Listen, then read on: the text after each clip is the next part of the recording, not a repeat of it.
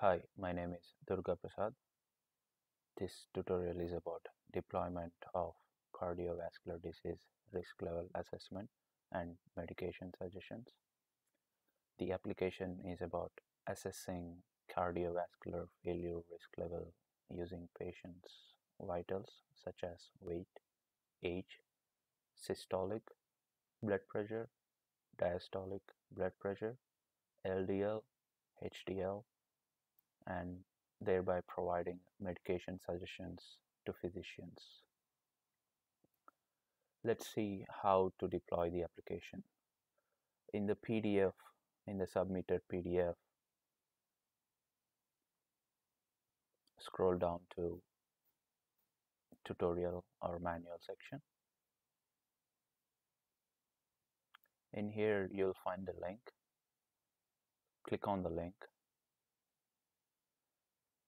the link will open up Smart App Launcher. In here, there are two things we should mainly consider. In the FHIR version, it should be R4, and the launch type should be provider EHR launch, and the simulate launch within the EHR user interface should be unchecked. Scroll down to the bottom of the screen, and you'll see the the URL link from the GitHub account. Click on the launch app icon. You should be able to see the smart EHR popping up and uh, it's going to ask for username and password. So the username should be Dr. Alien 226 col 117 and the password can be any. So this login is for demonstration purposes only. Any password will be accepted like in here. Now click on the login button. It's going to ask you for a patient to select. I'm going to select the first patient here just for the demonstration purpose.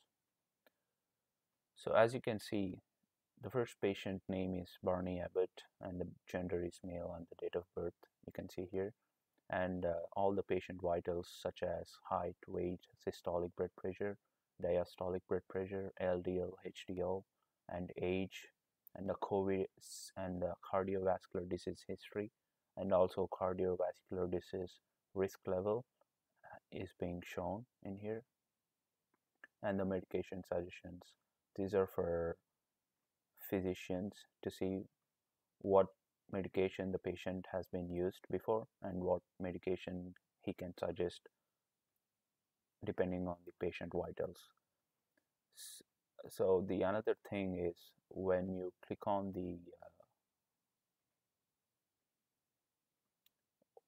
when you click on the launch app, if the app doesn't show up, then I would recommend to open up the URL in incognito mode. I'm going to show you how to do that. So right click on the link and uh, open link in private window. Now the smart app application launcher is gonna show up. Now again we need to make sure that the simulate button is unchecked and the version is in R4. Now click on the launch app. Since we are in private window, it's gonna ask for the GitHub credentials.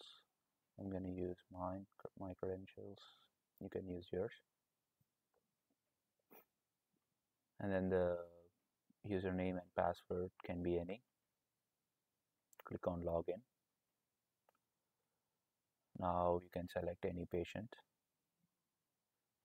It's going to pop up with the patient's vitals and uh, patient's data and all if you can see here the CVD history since the patient doesn't have any cardiovascular disease history it's showing none and the risk level for this patient is high and the medication suggestions are given in here for the physicians.